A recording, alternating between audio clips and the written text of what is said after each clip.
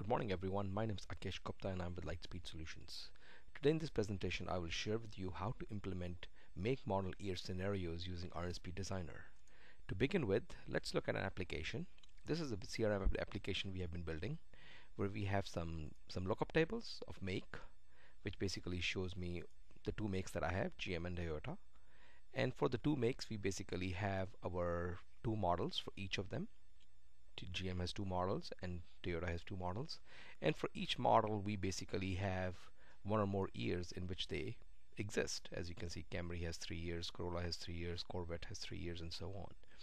Now the basic implementation that comes out of Iron Speed Designer without any customization is if you basically add these fields into a another entity like user account system will automatically understand that it's going to be a drop down list as it can and it will show you all the valid values. So under make it shows you the two makes but under model it shows you the four models and under year it shows you all the years. Since the years are the values are the same it also shows you their primary keys. But this is not the use case that we would like to work with. We would like to work with where models are only applicable when make is selected as well as it it should only show you the makes which are uh, it should only show you the models which are valid for the selected make and similarly for the year.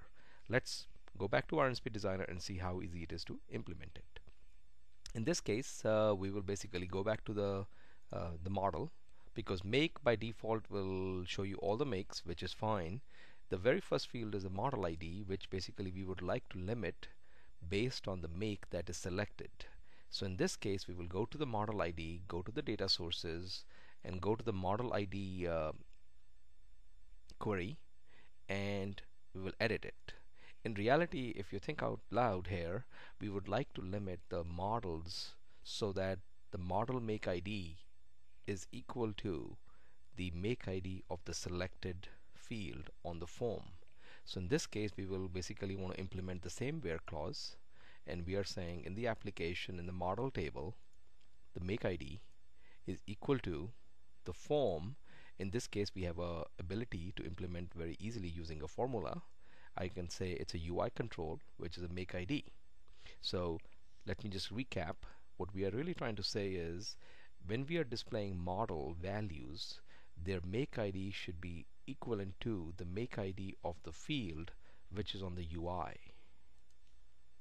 now once I have implemented this I can click OK and finish and I can build it while we are here we can take care of the year ID also because year ID now is dependent on the model ID unlike the last case where model ID was dependent on the make ID so now I click on the year ID year ID has its own data source and I go to year, ID data source and click on edit and now I can apply the filter in the same uh, same kind of similar definition where year table model ID is equivalent to formula right click UI controls model ID field value. Basically it's going to say model ID selected value.